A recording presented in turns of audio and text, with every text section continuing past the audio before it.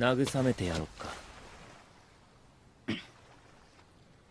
あんた私に気使ってんの？喧嘩売ってんの？どっち？どっちでもねえよ。だそれ！なんでここ来たのさ？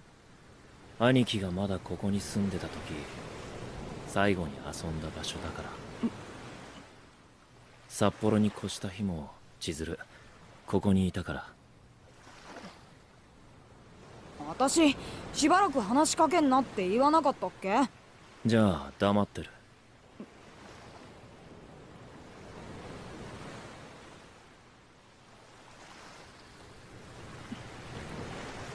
嘘だよ。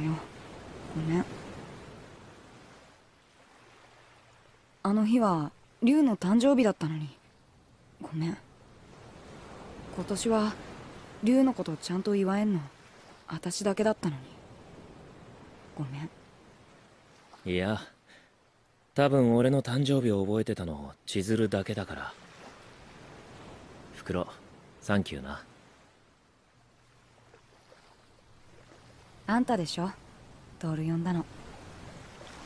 トールに腹減ってないか聞いたら龍にパンもらうからって。いや別にショックとかじゃないんだよ。龍が呼んだからって。トールも3時間半かけて来てくれたわけだし。嬉しかったよ。ありがとね。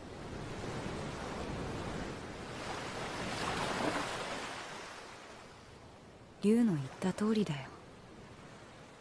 望みもないのに徹のこと好きだって思ってたの？叶うって本気で思ってたわけじゃなかったのかもしれない。本当に。徹はただの憧れの兄ちゃんだったのかも。分かってるよ。ちゃんと好きだったって分かってるから。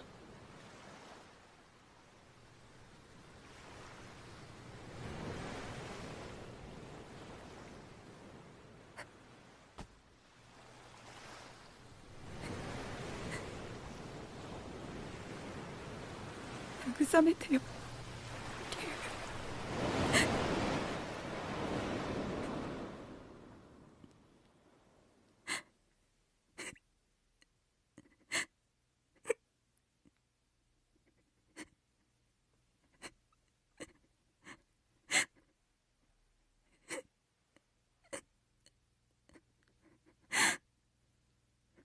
今年初めての雪の日でした。